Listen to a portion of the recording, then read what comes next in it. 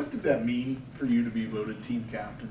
Uh, it meant a lot, you know. Uh, when it first happened, I said, you know, I'd be lying if I said I didn't want to be uh, voted team captain. I think Brett could probably say the same. You know, we have a lot of guys, Jacob Judd, uh, Lance. You know, we got Xavier, guys all around this room and, and, on the team that that want to be leaders and that work to be leaders. So uh, I was very honored and very humbled. How did the difference a year makes? I mean, you're coming in last season not knowing now you're the starter. What's that been like that whole transition? Uh, it's been a lot of fun just going through it with the guys, growing with the guys. Uh, you know, obviously we had that great run that everyone talks about last year, and uh, the bond that we built was was something very special. So going through, you know, a difference a year makes, you know, it's just a team getting much closer. How has the playoff run motivated you guys this year? Uh, it's motivated us a lot.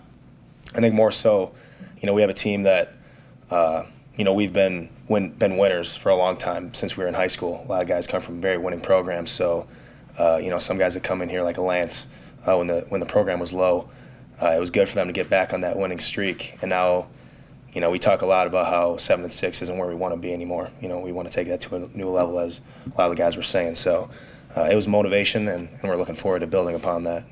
Has the way you prepare changed now that you're a starter, or is it just the same you used to? Same it's the same. Mm-hmm. It's it's been the same. I think, you know, uh, whether you're fourth string or you're starting, and that's something we have on this team is top to bottom. We got guys that, that treat it like a game every day, and that's very important uh, to, to build on that competitive nature that we have every day. So I've, I've been treating it the exact same. How blessed are you to have the best wide receiver in school history? Very, Outside. extremely. very lucky, very fortunate. What's he do well that, that makes your job easier? Uh, I mean, everything. He's, he's a great leader, and that's something that uh, people don't notice as much, and he works harder than anyone I know. So uh, that that's why he is who he is. Um, and again, it makes it very easy for me and other quarterbacks to, to do what we do. Um, and top to bottom, we have a great receiving corps that he he uh, he leads very well. So. You got some new faces on the offense, tight end behind you in, the back. Yes, sir. How explosive can this offense be? Very. You know, we can be as explosive as uh, we want to be. You know, we uh, we got weapons all around. As you know, we were talking about. You know, we got new incoming guys that have really. Um, from day one just fit in, fit in real well, and, and that I think is a huge, uh, you know, just test to our to our leadership, seniors and, and guys that are upperclassmen. They just welcome them in, and we're ready to get rolling. So. How much more comfortable are you right now as, as quarterback compared to where you were for your first start? I mean, mm-hmm. how much how much farther along do you think you are? Um, I feel more comfortable. I, I feel, you know, with the offense. You know, in the spring we we took uh, a lot of steps in the spring. You know, when it's when it's brand new, it's it's sloppy and whatnot. And by the end of spring, you know, we were all very comfortable, and then we had the whole summer. Uh, so I feel comfortable, and, and it, again, it's easy when you got some of your best friends and your brothers around you that just are all going through the same thing, and you know, we all got each other's backs. So it's been a lot of fun.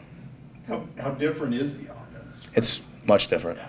You know, I think they can all attest to that. It's it's a different different offense. So, uh, but I think we mold into it really well. So it'll be a lot of fun there's been a lot of chatter today about the point system in yeah. practice. What goes through your head at the end of the day when the defense wins? You know, that darn shoot, something not something different than that, but can't say it. I think I've pounded the table once or twice. Uh, but yeah, I mean, it's funny because one of our transfer quarterbacks, he says to the left of me, and he counts uh, the offense's total, and I count the defense, and we're just kind of chirping back and forth. You know, what's the score? What's the score? So it is extremely competitive, and you know, if you didn't hear it from them, you know, it, it's the truth. So it's uh, it makes everyone better. It's a lot. Of, it's a great, great, great run for us. Is there anything in the the new offensive changes that came from Coach Fisher that has elevated something in your game that you thought maybe that you couldn't elevate any further than what it already has?